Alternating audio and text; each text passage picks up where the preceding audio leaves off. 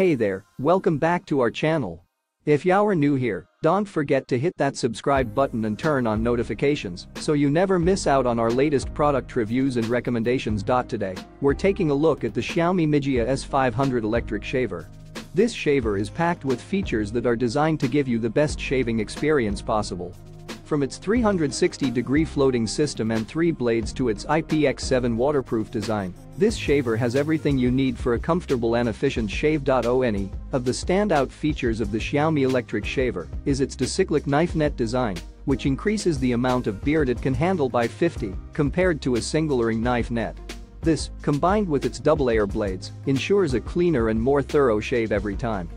The shaver also features IFT suspension floating decompression technology, which helps to cushion facial pressure and provide a smooth and comfortable shaving experience. And with its ECM electrochemical processing technology, the cutter head is wear resistant, ensuring a longer lifespan for your shaver. But that's not all this shaver also has an LED digital display with four major functions displayed, making it easy to keep track of your shaver's performance. And with a 2-hour charge time and 60 minutes of runtime, you can rely on this shaver to always be ready when you are. So, if you're in need of a new electric shaver that can adapt to various facial contours, provide a clean and thorough shave, and offer a comfortable shaving experience, then the Xiaomi Mijia S500 electric shaver is the one for you.